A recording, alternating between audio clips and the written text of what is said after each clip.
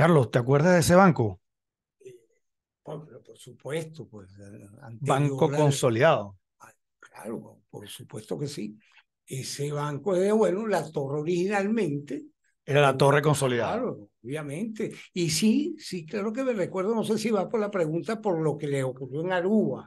Sí, en Aruba. Tiene que ver porque esta situación que estamos atravesando en Curazao ocurrió hace muchísimos años atrás, también en el momento del control cambiario, cuando estaba el Banco Consolidado, que tenían unas oficinas también, operaciones en Aruba. Entonces era consolidado, ese se llamaba consolidado igual, consolidado NB. ¿Y qué pasó? Exactamente igual. Quiebra en Aruba. Parece ser que llegan a unos acuerdos allá, allá si llegan a unos acuerdos, devuelven el dinero, pero por ese remanente demandaron aquí en Venezuela porque vamos a suponer que tú tenías un X cantidad de depósito y te pagaban un porcentaje. O sea, claro, aquí hay unas discusiones eminentemente jurídicas. Bueno, pero si tú cobraste allá y firmaste finiquito, te vas a venir para acá a cobrar la diferencia. Pero lo importante es que aquí, en Venezuela, nuestro Tribunal Supremo de Justicia dijo que sí, que podías cobrar aquí.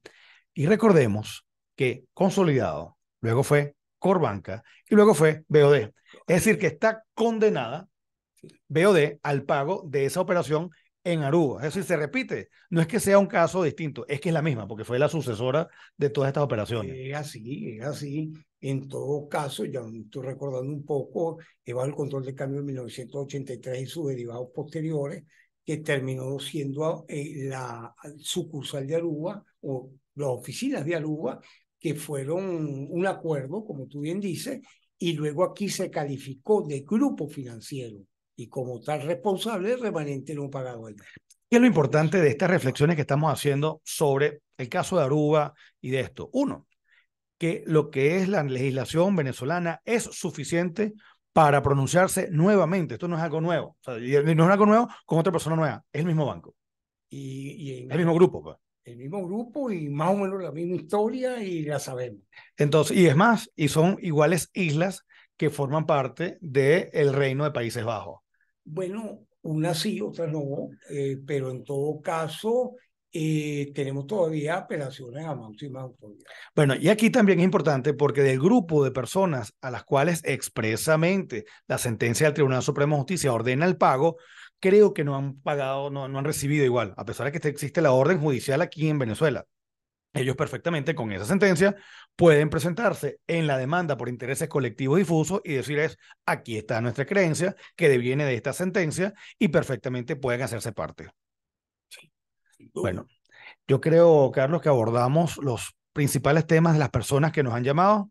Creo que vamos a ir recibiendo también otras informaciones que las iremos sacando en otros programas. ¿Qué te parece?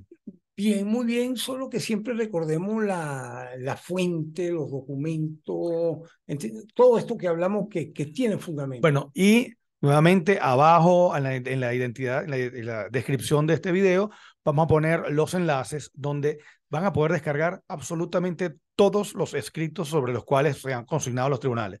Un tribunal tiene un expediente que es público, cualquiera debería poder acceder, sabemos que hay limitaciones, etcétera, uh, físicas más que todo, pero aquí es como si en vez de ir para el tribunal lo descargas de una vez, entonces ves los escritos y ves las pruebas que se están consignando. Así es. Chao. Hasta luego.